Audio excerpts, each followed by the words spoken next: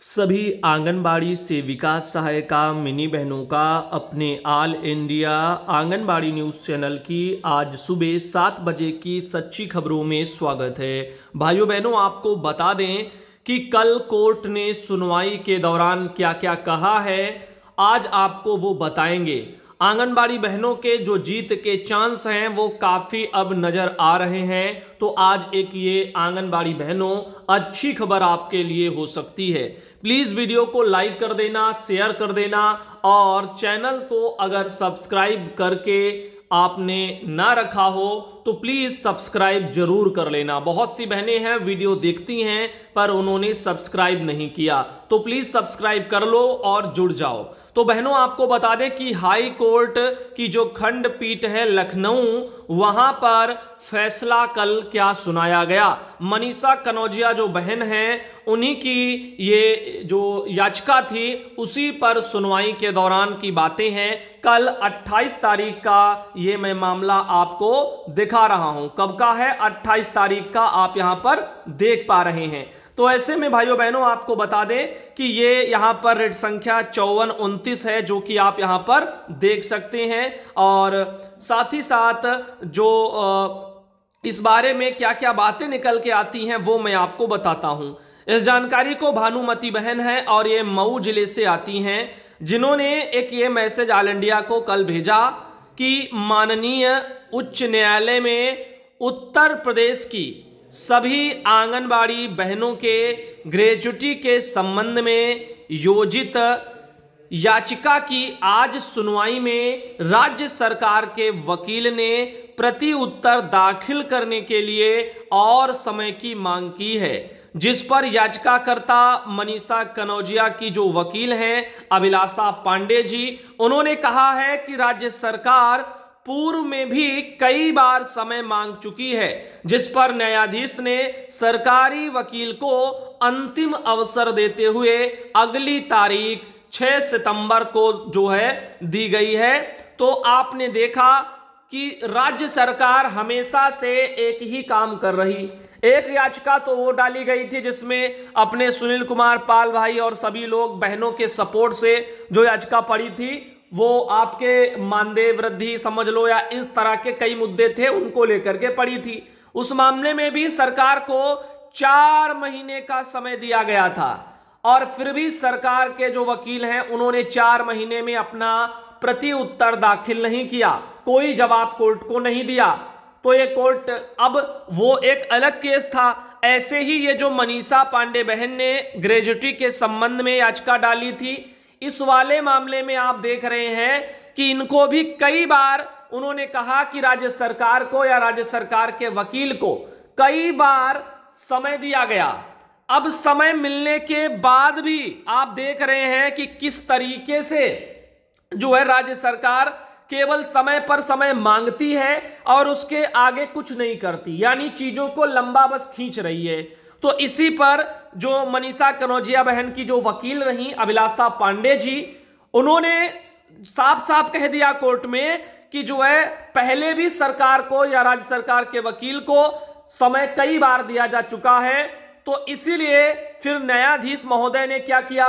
न्यायाधीश महोदय ने सरकारी वकील को ये लास्ट अवसर दिया है, आखिरी अवसर दिया है, अंतिम अवसर कह लो तो ऐसे में बोल दिया साफ़ साफ़ कि 6 सितंबर, अभी आ जाएगा। 6 सितंबर को अगली तारीख मिल गई है।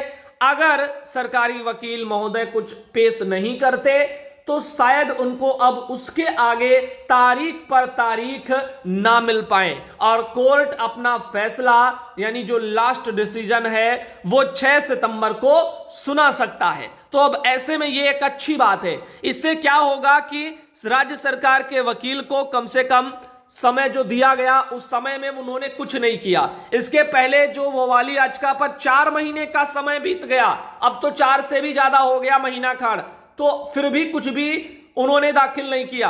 तो बार बार वही चीज़ें हो रही हैं कि समय इनको दिया जाता है और ये उस काम को लेकर के बिल्कुल ही उदासीन बने रहते हैं, जिसके चलते आपने देखा है कि बहनों का टाइम जा रहा, न्यायालय से न्याय मिलने में भी देरी हो रही।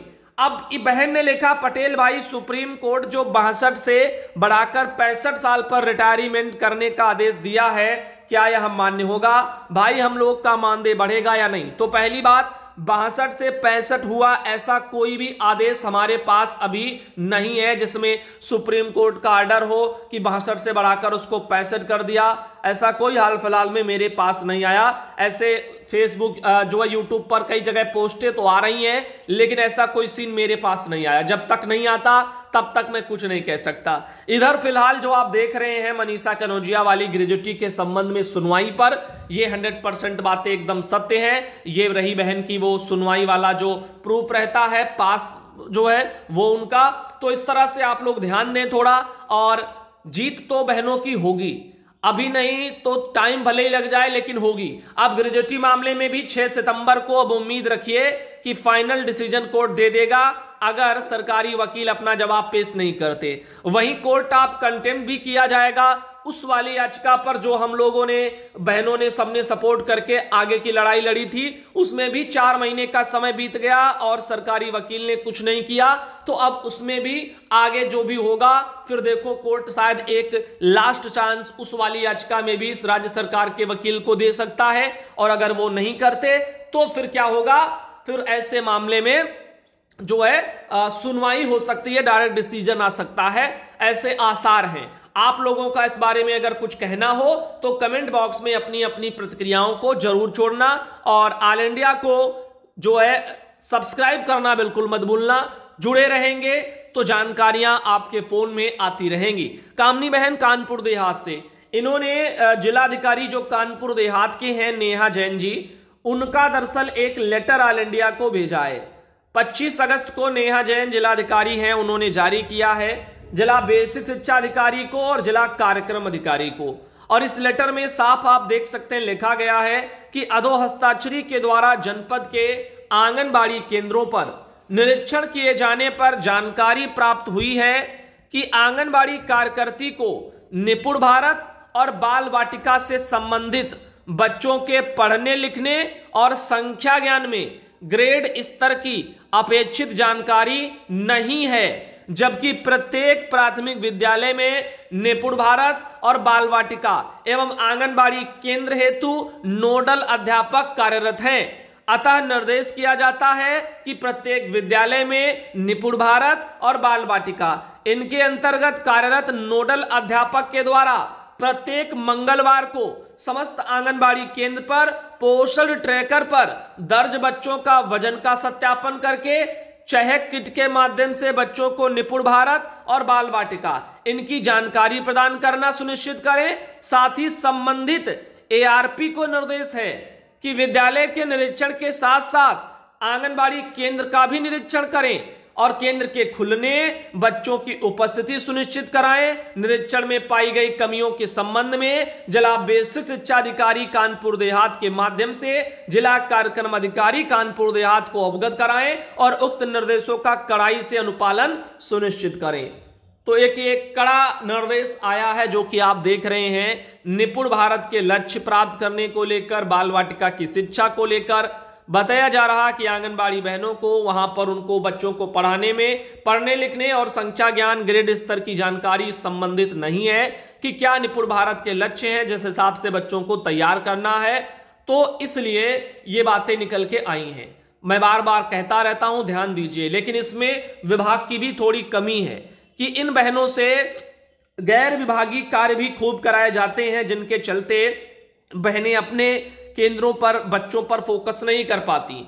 अब एक ही कार्यकर्ता उस समय पर बीएलओ के कार्य करें या फिर जो है कई तरह से चुनाव ड्यूटियाँ करें या अन्य गैर विभागीय कार्यों को करें। स्वास्थ्य विभाग के बहुत से कार्य और भी तमाम कोई भी जागरूकता कार्यक्रम कहीं भी कुछ भी कुछ भी आए, सब कार्यकर्ता के मत्थे मर दिया जाता है। यहाँ तक कि आधार कार्ड बनाने की ज़िम्मेदारी भी कई जगह बहनों के ऊपर सौंपी गई और सौंपने की तैयारियाँ भी चल रही। अब ऐसे में आप बताओ कि कैसे फिर आखिर बहनें अपने सेंटर पर आने वाले तीन से छह वर्ष के बच्चों को निपुण भारत के तहत शिक्षा दे पाएँगी या बाल वाटिका के तहत कुछ अच्छा करा पाएँगी? तो यहाँ पर इन चीज़ों पर भी विभाग को फोकस करना चाहिए। अब कोर्ट ने भी कहा है कि बहनों से गैर भागी कार्य ना कराए जाएँ, बीएलओ जैसे कार्य ना कराए जाएँ, फिर भी जिलों के अधिकारी उनको करवा रहे हैं। ऐसे कामों से उनकी संलिप्तता को यानी अलग नहीं कर पा रहे हैं, जिसके चलते भी आईसीडीएस की जो मुख्य सेवाएँ हैं, वो प्रभावित हो रही हैं। कोर्ट के कहने के बावजूद भी आदेशों की अवहेलना हो रही है। तो ऐसे में पहले विभागीय ज़िले के जो अधिकारी हैं या ज़िले के जो जिम्मेदार अधिकारी हैं, उनको संज्ञान लेना चाहिए और उन आदेशों का भी पालन करवाना चाहिए, जिसके चलते आईसीडीएस की मुख्य सेवाएँ वो प्रभावित नहीं होंगी और अच्छे तरीके से फिर गुणवत्ता भी निकल के आएगी। कामनी बहन है कानपुर देहात से और इन्होंने अपने यहाँ से एक लेटर भेजा है। 28 तारीख को डीपीओ राकेश यादव जी हैं। उन्होंने दरअसल अपने यहाँ जारी किया है और ये सीडीपीओ लोगों को और सुपरवाइजर लोगों को भेजा गया। बोला गया है, मुख्य विकास अधिकारी महोदय, कानपुर देहात के द्वारा प्रदान निर्देशों के क्रम में आपको निर्देशित किया जाता है कि लर्निंग लैब के अंतर्गत समस्त बाल विकास परियोजना में चयनित 11 आंगनबाड़ी केंद्रों की आंगनबाड़ी कार्यकर्ती एवं एक बाल विकास परियोजना अधिकारी प्रभारी, इनकी बैठक मुख्य विकास अधिकारी महोदय कानपुर देहात की अध्यक्षता में एक सितंबर दिन शुक्रवार को समय प्रातः 11 बजे विकास भवन सभागार में आहूत की गई है। अतः आपको निर्देश किया जाता है कि चयनित 11 आंगनबाड़ी केंद्रों की आंगनबाड़ी कार्यकर्तियों के सहित लर्निंग लैब की अद्यतन सूचनाओं के साथ आयोजित बैठक में ससमय प्रतिभाग करना सुनिश्चित करें। कानपुर देहात से एक मामला ऐसा भी सामने आया। वहीं दोस्तों, आप देख रहे हैं, आज के इस वीडियो को हम यहीं रखेंगे और अगले वीडियो में दोपहर को आपको बहुत ही जल्द फिर मिलेंगे।